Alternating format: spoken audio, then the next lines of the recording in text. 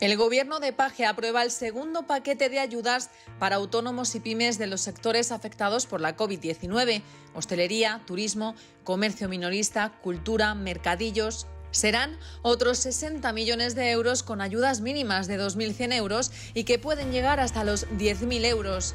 Son las ayudas más ambiciosas de toda España y junto a los 80 millones de euros repartidos en verano, nuestra región se convierte en la que más presupuesto ha destinado contra la crisis económica, más del doble que la media nacional. Si eres uno de estos sectores y has tenido un 40% menos de facturación desde la pandemia, puedes solicitar las ayudas desde el 2 de febrero hasta el 1 de marzo. En Castilla-La Mancha, ahora hay otra forma diferente de hacer las cosas. Castilla-La Mancha, con cabeza y corazón.